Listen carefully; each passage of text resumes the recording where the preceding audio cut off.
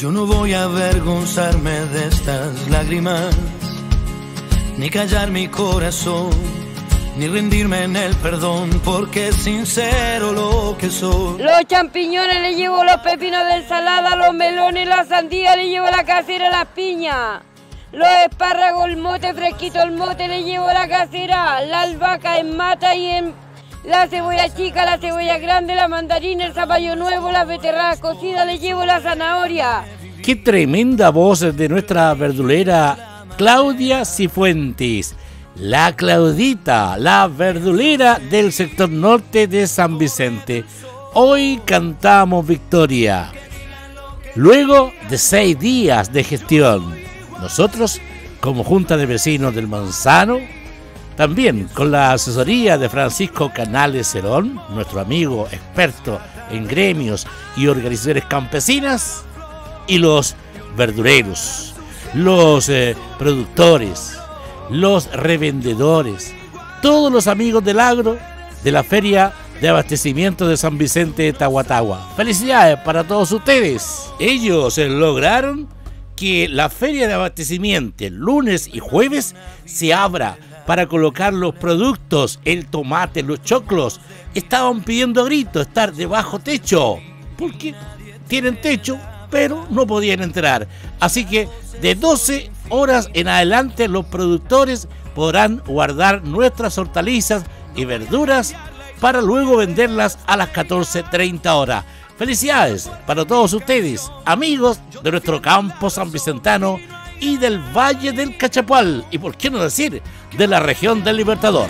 Bueno, Claudita, contenta por el logro que tiene ustedes con sus feriantes, los productores y vendedores de frutas y verduras. De todas maneras, contenta, gracias a, a don Canales, a los amigos que nos acompañaron, a los agricultores, a usted, porque logramos, gracias a Dios, que nos dejen entrar los camiones a resguardar nuestros productos para nosotros sacar la verdura, empezar a comprar a las dos y media.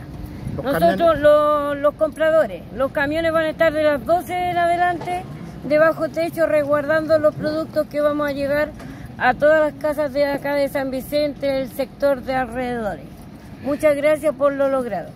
José, bueno, tú eres, vendedor, eres productor, viniste al, consejo, a la comisión, y al final el, administrador con la Yaquito de, renta dio el pase transitorio para que mañana esté a las 12. ¿Qué te parece? Sí, no, muy bueno, porque eso es lo que estábamos. Nosotros, nosotros no queríamos hacer un desorden, solamente pedíamos descongestionar la calle de afuera y que nuestros productos, cuando cosechamos en la mañana, lleguemos a la sombra.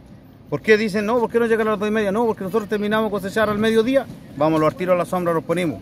Y eso es lo que queríamos, estacionar ahí y nada, empezarle una feria ordenada a las dos y media de la tarde.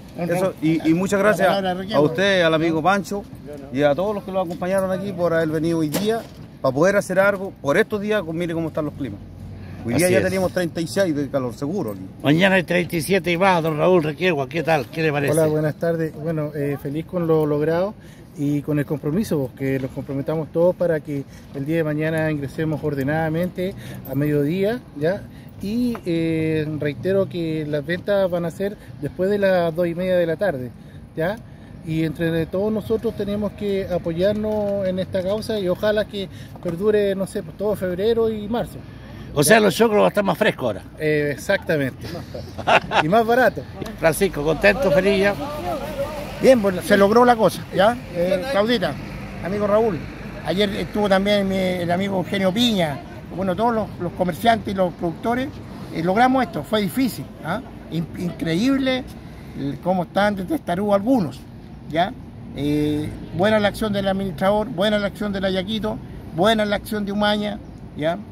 Eh, que se la jugaron, buena también la, acción de, Araya, y el compromiso que tomamos con el, con el administrador, y él lo tomó con nosotros.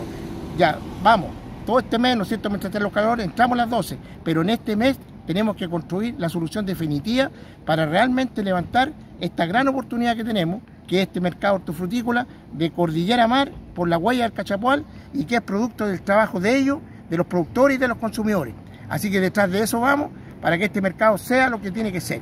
Vamos para arriba. Así es, vamos para arriba, porque el tomate, los duranos, los choclos, la lechuga, tienen que estar fresquita para que lleguen a su mesa para que lleguen más ricas, más sabrosas en este verano 2024.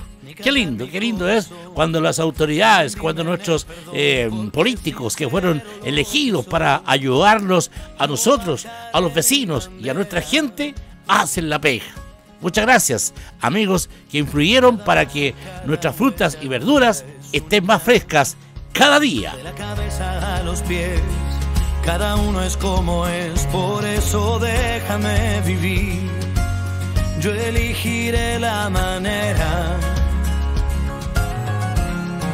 Pienso seguir al borde del sol. Aunque digan lo que digan, más fuerte si me dicen no.